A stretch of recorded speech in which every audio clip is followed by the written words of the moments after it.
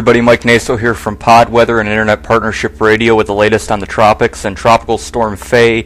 You can see uh, 24 hours ago it was over Hispaniola, newly developed, and it's now left the island, and uh, the island has taken some toll. It's weakened just a little bit, but it's back out over water south of uh, Guantanamo Bay, Cuba, chugging along to the west, and it's expected to eventually curve up and strike Florida sometime early to mid next week as a hurricane, but there are a lot of uh, variables we're going to go over. Here's the latest on Tropical Storm Fay as of 5 p.m. Eastern.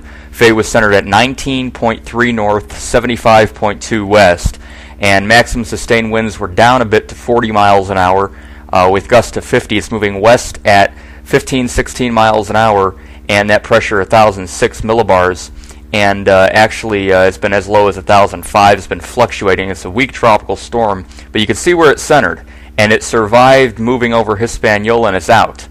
And the key is later tonight making landfall right around Cabo Cruz here on this little this little point here on uh, eastern Cuba, and then kind of trailing along. If you remember Hurricane Dennis three years ago, Dennis kind of settled right along here as a Category 4 hurricane and intensified as it did that, and uh, come ashore somewhere near uh, Sancti Spiritus, uh, Cienfuegos, right there on the southern end of Cuba, impact Havana, and then come on out early Monday, Monday afternoon, and then strengthen like mad over the Gulf of Mexico and make landfall as a uh, potent Category 1 hurricane somewhere on the Florida west coast. Now, as of right now, uh, the actual landfall point is north of uh, Charlotte Harbor and Punta Gorda, generally towards Sarasota. But again, the cone could be as far north as scraping up the Florida east coast towards the Carolinas, or as far south as hitting the Isle of Youth, western Cuba, and coming out here towards the North Gulf Coast. A lot of uncertainty, but in that,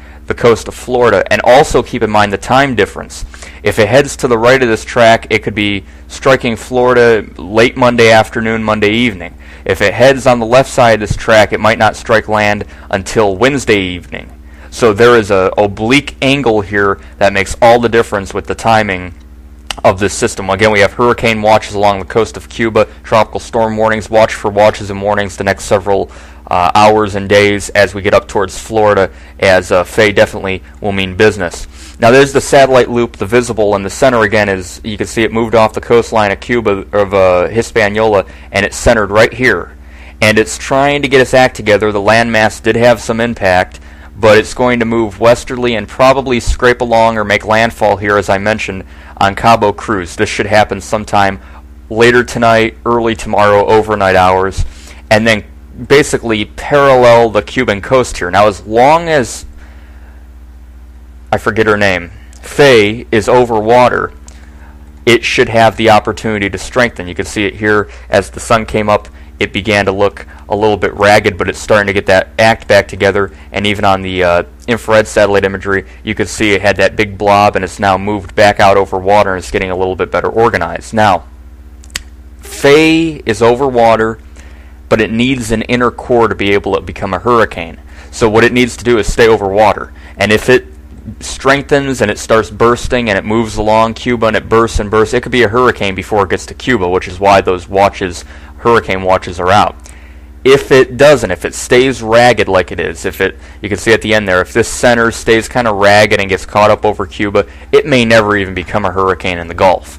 So that's why it could either become a hurricane if it starts to strengthen even as far uh, south of Cuba and then a stronger hurricane for Florida, or it could just remain a weak storm and kind of ride up into Florida like Ernesto two years ago.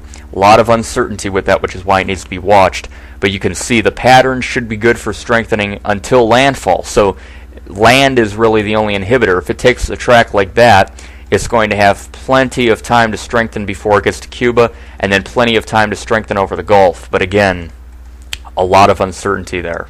Here's the model guidance spread, and you can see the Hurricane Center track is pretty much in the middle of it. The GFDL takes it all the way up here into Key Largo and then Miami, and then takes it back off towards the Outer Banks. You can see the Canadian model in here taking it to South Carolina after hitting near Naples. Uh, climatology says that it should uh, go into the Gulf, but again, we do have that ridge that should eventually move along, and we'll get the tropical cyclone to push to the north, and eventually uh, it'll get caught up and move northeast.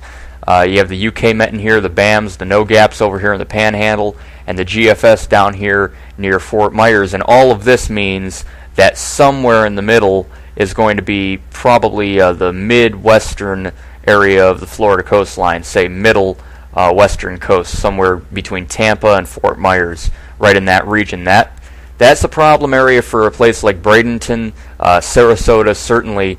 Uh, right now, if, if the track verified, the center of the hurricane would make landfall somewhere up in this region. But keep in mind, it could be impacting the Keys, it could be impacting Naples, it could be impacting the Big Bend region up here. A lot of uncertainty about where it will go and how strong it will be. But as long as that center stays over water, it will have the opportunity to strengthen.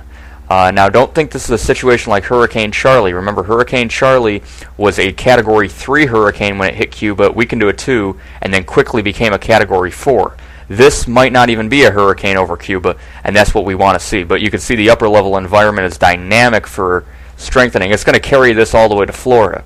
So it's a matter of if it forms a core, if those winds that are strongest get right around the center, and it starts forming an eye wall and becomes a hurricane even, then that could just spin right up real fast over the Gulf. If it doesn't, it's going to be trying to do that as it's making landfall, which won't have as intense a system. Now, further out, we did have our invest no longer due. It's moving up. It's not going to do anything. This wave looks pretty interesting in here, and we're going to watch as these waves move westward. It is August. Have to watch it. And for the final analysis of Fay, you can see here, note this convection down here in the southern Caribbean. You can see the flow over Fay is, is very favorable. So it's having a good ventilation.